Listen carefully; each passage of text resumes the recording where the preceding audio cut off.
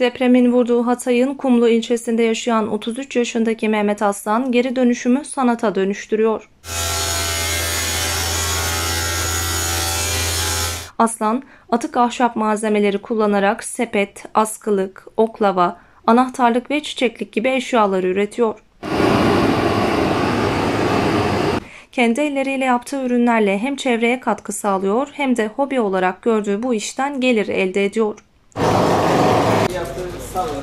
Mehmet Aslan eline ulaşan bütün atık malzemelerden bir şeyler yapmaya çalıştığını belirtti. Abicim e, sepetlik yapıyoruz, askılık yapıyoruz, oklava yapıyoruz, şiş yapıyoruz şey için ekmek çevireceği. Efendime söyleyeyim sebzelik demiştik, anahtarlık, e, yani çiçeklik, askılık böyle şeylerle uğraşıyoruz. Yani elimizden gelen bütün atık malzemelerden bir şeyler yapıp bir şeyler üretmekle üretmeye çalışıyoruz. Geri geri dönüşüme katkı sağlıyoruz. Şimdi her ürünün kendine göre bir fiyatı var. Efendime söyleyeyim sebzeliğin 750 lira bir fiyatı var. Ee, onunla da 3-4 saat bir güne uğraşıyorum. O bir e, oklavayla da 3-4 saat uğraşıyorum. O 25 lira, o biri 750 lira. Hiç yorucu.